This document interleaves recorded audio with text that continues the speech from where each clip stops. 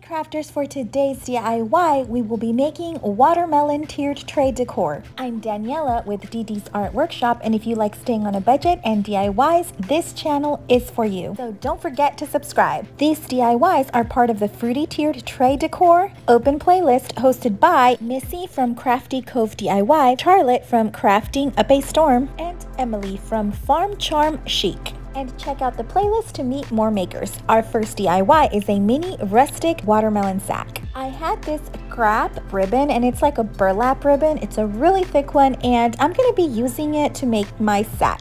I'm folding it in half and I am to be gluing with my hot glue gun the sides and make sure you use those finger protectors because you don't want to burn yourself. And I'm going to be turning it over once my glue is dry.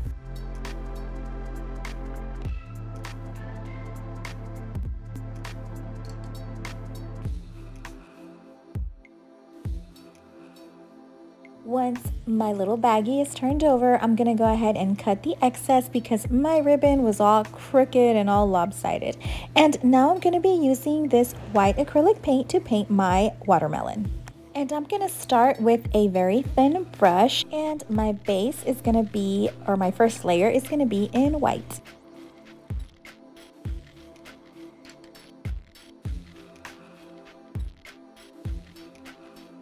Now I am ready to add a little bit of red and I'm going to go ahead and show you the red I'm using in a bit. I forgot to show you guys the red, but I'll show you guys that in a bit. And I really like this red. The brand is Folk Art. That is my favorite go-to brand. It goes on very, very nicely. It's my favorite acrylic brand. If you have another favorite one, please let me know. It's actually a little bit better than Craft Smart. I'm not a big fan of Craft Smart, and these are the two that I am going to be using. And as you can see, um, the red one is Folk Art, and this green I really didn't like it, but it's what I already had at home. But um, it's going to work just fine because I've already done a layer of white. So it's going to go on just fine.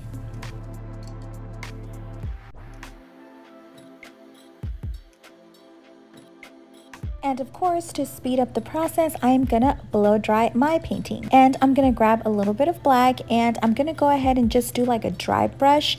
And I'm gonna do some shading just so it looks a little bit more rustic. And I'm gonna do a little bit of black on the red and a little bit on the green and just where I see it's needed. And this is just gonna give it more of a rustic look and I think it turned out beautiful. So make sure you stay till the end.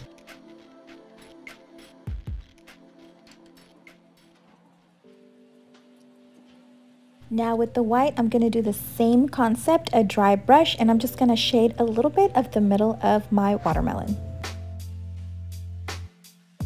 Now with my black acrylic paint, I'm actually using this black paint from Dollar Tree. I'm gonna make my little watermelon seeds and I'm just gonna be making three of these. Now I decided to add another little detail so I'm to be making little white flowers and I'm just to be making two of these with the back of my paintbrush. I am doing the little petals just like so. And you guys what I love about this DIY is that you don't have to be the best artist. This is very simple art and it doesn't have to be perfect. This little flower is all to come together once we add that little middle yellow part. So here I am just doing the little stem with the petals with a very, very fine brush. And it's already coming together. Now let's do our second one.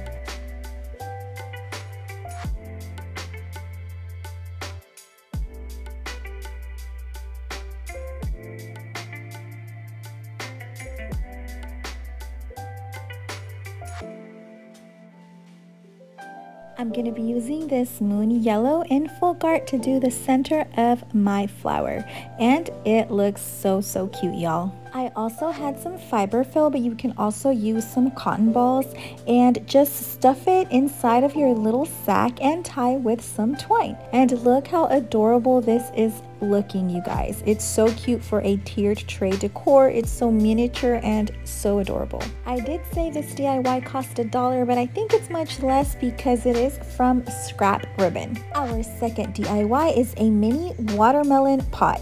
I purchased this little miniature pot at Dollar Tree. I had it in my craft stash and we're going to be using that same grass green we used earlier and we're going to be painting the very top of our little pot. And with the same apple red we used earlier, we're to go ahead and paint the bottom part. Now with a permanent marker or a paint marker or paint, just go ahead and do your little seeds. I'm to be using paint for this part.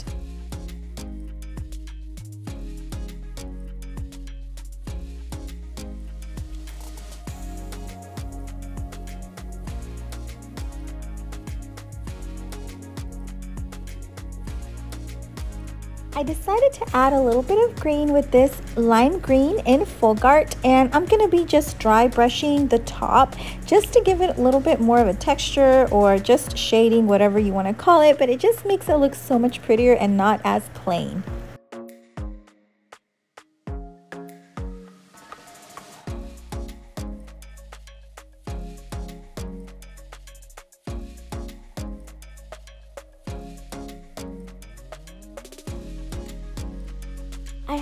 Bit of floral foam and these are just little scraps I didn't use. I'm just going to be cutting a few pieces and just putting it at the bottom. Now I had this succulent also at home. I'm going to put it at the top and I purchased these little umbrellas at Dollar Tree. They were just too cute to pass up and I thought it would just be cute to just add as a little detail. I don't know. I think this looks so adorable and so ready for summer. Let me know what you think in the comments below. Our third DIY is a mini birdhouse. I had made this little house in another video and the video is $1 spring home decor. Make sure to check out that video. But I'm going to make over this little house and I'm going to be using that same green we used earlier and I'm going to paint the roof, just the roof in green. And you guys, here's a little tip. If you just go over with paint in an area you do not want, get a little wet wipey and it'll wipe right off before it's dry, of course. And I always like to have little baby wipes handy because they are so, so ideal for removing extra paint that you don't want and it just removes it and it wipes it right off. Now with the same red, we've been using that bright, nice folk art red. We're gonna be painting two of the sides of the little birdhouse. Now I was debating whether to paint it all in red, like all the bottom part in red, but I decided not to because I wanna leave that home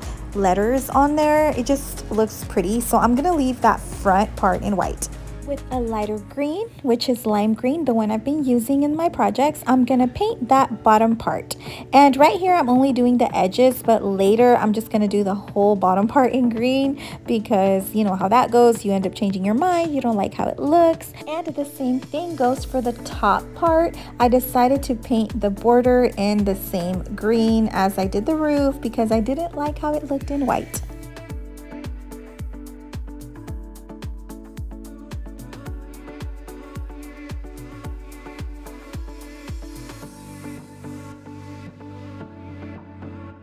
Now I wanted the roof of my little birdhouse to look like the cover or the outer part of the watermelon. So I'm going to add some squiggly lines with that lime green and we're going to just let that dry and we're going to add a little bit of white and you'll see how I'm going to do that fairly simple and it just adds a very special design and touch and it makes it look like a watermelon.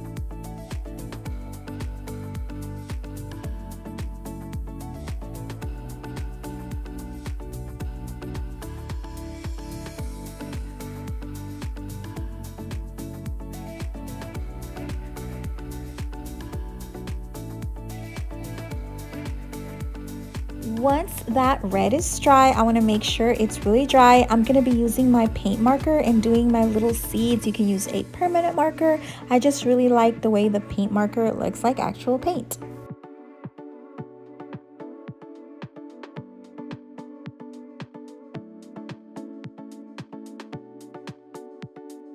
Now to add a little bit of shading or texture or whatever, I'm going to add a little bit of white, just slightly add to the bottom. And of course, don't forget to seal your work so it lasts longer. And this is the final look and make sure to stick to the end for you to see how it looks on my tier tray. Our fourth DIY is a $1 Summer Vibes mini sign, which I purchased at Dollar Tree.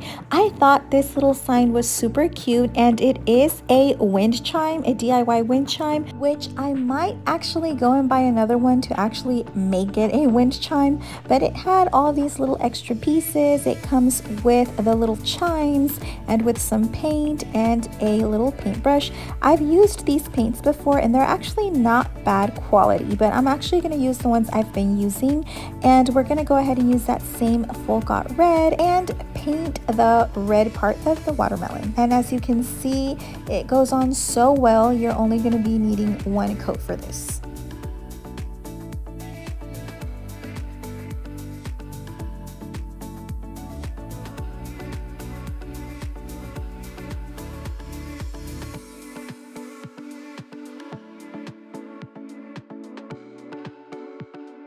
Now let me tell you guys what happened here. I ended up using this yellow for my letters for the summer, the word summer, and I didn't like it at all. I didn't like how it looked in the end. It was very messy, so I actually recommend you using a darker color and probably do the background first before you do the letters.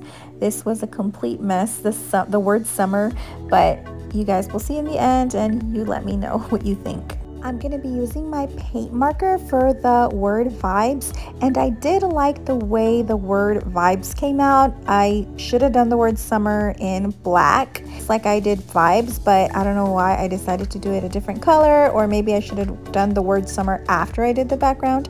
I don't know what I did wrong but anyway this is the way it looks.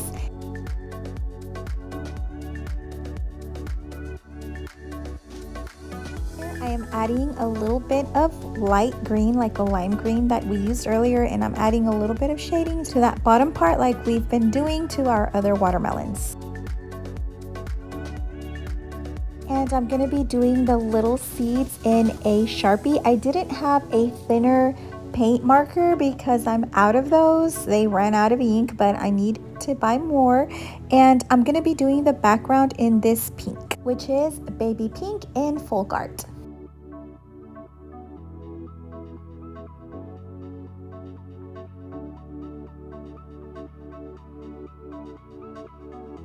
Now, I don't know why I did this, guys, but I painted the whole thing in pink and it was very, very bulky because I had already done the word summer in yellow. So this isn't going to look so great. I really didn't like it that much, but this is what I had to work with and I did the letters in black and I regretted it. I should have now I think I should have done like a darker orange just to match the yellow a little better. Oh well, this is what we have. and I had this glitter. Glitter makes everything better and prettier, I think, or fixes it a little. It kind of just camouflages the mistake. I don't know. I decided to just cover it in glitter just to see if it'll make it prettier and it did help a bit but I still I don't like the word summer but let me know what you guys think but I think in the end it wasn't as bad um, once I saw it all come together. I had these little Jenga blocks, I glued them together and I'm gonna just glue my sign tilted on it. That way it could just stand on its own and it's gonna be perfect for my tiered tray. And this is the final look. Let me know what you think.